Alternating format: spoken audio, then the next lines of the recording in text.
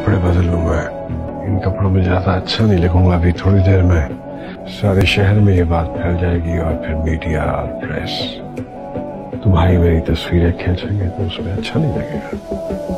इन कपड़ों में I should be looking handsome